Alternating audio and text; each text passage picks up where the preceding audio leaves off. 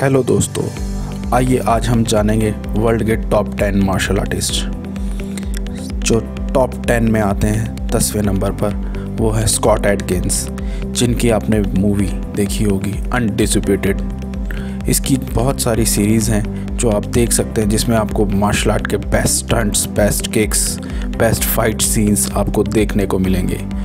Scott add Adkins का अपना personal YouTube channel है, जिस पर वो अपने मार्शल आर्ट स्किल्स टेक्निक्स उस पर वो टीच करते हैं। तो आप भी वहाँ से सीख सकते हैं। नौवे नंबर पर आते हैं सैमो हंग जो कि एक सपोर्टिंग एक्टर का रोल प्ले करते हैं बहुत सी मार्शल आर्ट मूवीज़ में।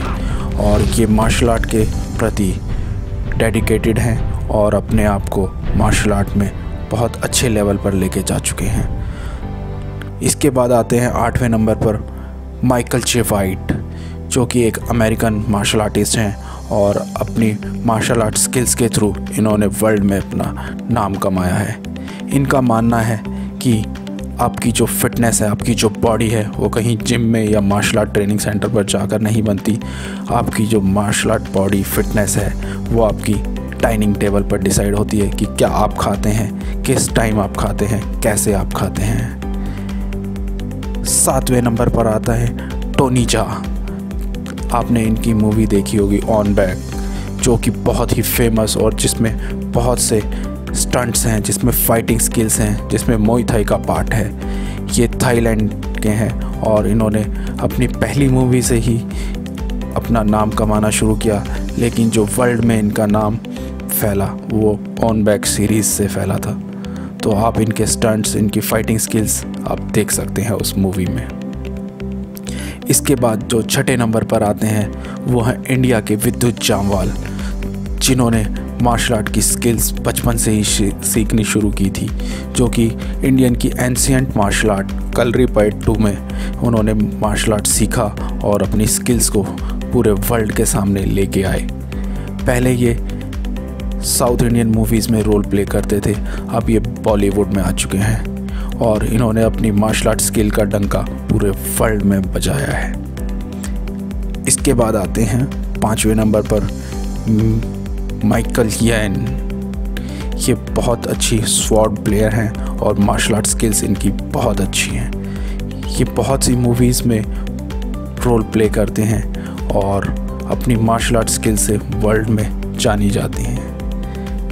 इसके बाद आते हैं फोर्थ नंबर पे, टोनी यैन, जो कि आपने इप मैन मूवीज़ में देखे हैं, जिनकी विन विंचुंग मार्शल आर्ट उन्होंने अपनी इसमें शो की है और अपनी फाइटिंग स्किल्स अपनी स्पीड के थ्रू ये जाने जाते हैं। अगर किसी को विंचुंग सीखना है तो वो इनकी मूवीज़ देखकर, इनकी वीडियोस देखकर सीख सकते हैं। तीसरे नंबर पर आते हैं कुंफू मास्टर जेटली जो कि वर्ल्ड फ़ेमस है। इनकी बहुत सी पुरानी मूवीज़ और जो न्यू मूवीज़ हैं, उसमें इन्होंने कुंफू की स्किल्स दिखाई हैं। और वैसे तो ये स्वॉट चलाने में भी माहिर हैं और इनकी स्पीड बहुत ज़्यादा तेज़ है। अक्सर ये कुंफू की मूवीज़ में आपको देखने को मिलेंगी। इसके बाद आते हैं हमारे जैकी चैन जो दूसरे नंबर पर हैं। जैकी चैन मार्शल आर्ट में अपना एक मुकाम हासिल कर चुके हैं और इन्हें ऑस्कर अवार्ड भी मिला हुआ है। ये अपने पार्क और अपने फ्लिप्स, अपने स्टंट से जाने जाते हैं। ये बहुत सी मूवीज़ में कॉमेडी का रोल भी प्ले करते हैं और ऑडियंस को इन्जॉय भी कराते हैं।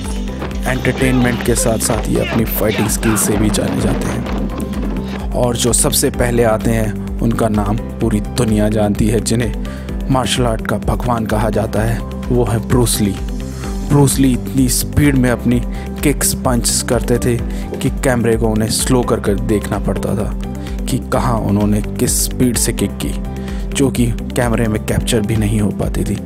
ब्रूसली बहुत ही एंथुजियास्टिक और बहुत ही डेडिकेटेड मार्शल आर्ट प्लेयर हैं, जो मार्शल आर्ट के लिए अपनी जी जान से लगे रहते थे। इन्होंने बहुत कम उम्र में अपना नाम कमाया था और बहुत कम उम्र में ये हमें छोड़कर चले गए थे।